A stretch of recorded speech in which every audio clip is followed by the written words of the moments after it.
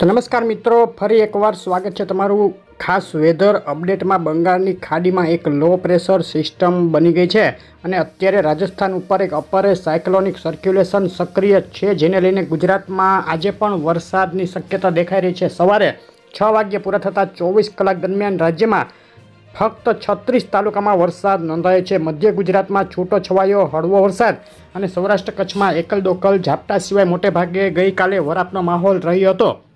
Satellite picture ઉપર નજર કરીએ, સમગ્ર ભારતનું સેટેલાઇટ પિક્ચર જોઈએ તો અત્યારે રાજસ્થાન, મધ્યપ્રદેશ એ સિવાયના પણ વિસ્તારો ઉપર ગાઢ વાદળો જોવા મળ્યા હતા. ગુજરાતમાં ગઈકાલે સાંજે રાત્રે ઉત્તર ગુજરાત, મધ્ય પૂર્વ ગુજરાત સુધી વાદળો જોવા મળ્યા હતા, જેમાં આજે વધારો થઈ રહ્યો છે સૌરાષ્ટ્ર બાજુ પણ.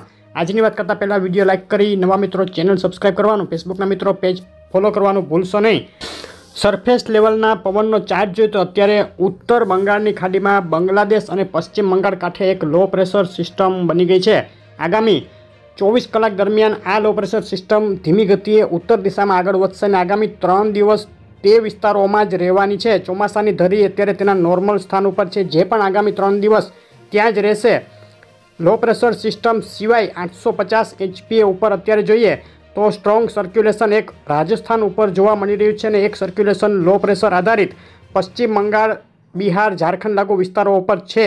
અઢાર ઓગસ્ટે અગાઉ આપણે જે કહ્યું હતું તે મુજબ કેરળના કાંઠે એક લો પ્રેશર સિસ્ટમ બની શકે જે ધીમી ગતિએ ઉત્તર પશ્ચિમ દિશા તરફ આગળ વધશે.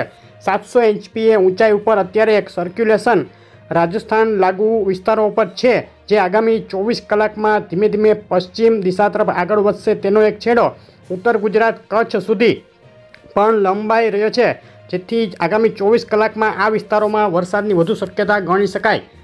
આજે સોળ ઓગસ્ટ અને આવતીકાલે સત્તર ઓગસ્ટની સવાર સુધીમાં કયા વિસ્તારોમાં વધુ વરસાદની શક્યતા તેની વાત કરીએ, તો દક્ષિણ ગુજરાત અને પૂર્વ મધ્ય ગુજરાતમાં છૂટો છવાયો હળવો વરસાદ અને એકલ દોકલ સ્થળે અડધો એક ઇંચ સુધીનો વરસાદ અને મોટાભાગના સ્થળોએ હળવા ભારે ઝાપટા જેવો વરસાદ ચાલુ રહી શકે છે.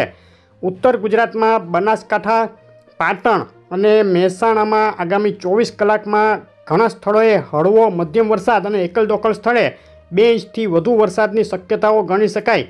એકાદ સ્થળે ભારે વરસાદની શક્યતા પણ ગણી શકાય છે, ખાસ કરીને રાજસ્થાન બોર્ડર લાગુ વિસ્તારોમાં. કચ્છમાં ઉત્તર કચ્છ અને જે કચ્છના ઉત્તર ગુજરાત લાગુ જે વિસ્તારો છે તેમાં અને પૂર્વ કચ્છમાં આગામી ચોવીસ કલાકમાં હળવો મધ્યમ વરસાદ અને એકલ દોકલ સ્થળે બે ઇંચ કે તેથી વધુ વરસાદની પણ શક્યતાઓ ગણી શકાય.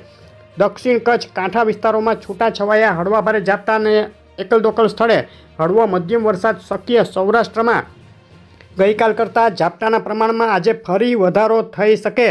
પશ્ચિમ સૌરાષ્ટ્ર દક્ષિણ સૌરાષ્ટ્ર, જુનાગઢ, ગીર સોમનાથ, અમરેલીના અમુક વિસ્તારો, ભાવનગરના અમુક વિસ્તારો, રાજકોટ, મોરબી જિલ્લામાં તેમજ સુરેન્દ્રનગરના ઉત્તર તરફના જે વિસ્તારો છે તેમાં છૂટાછવાયા, હળવા ભારે ઝાપટા અને એકલ દોકલ સ્થળે અડધો એક ઇંચ જેટલો વરસાદ પણ શક્ય છે આગામી ચોવીસ કલાકમાં.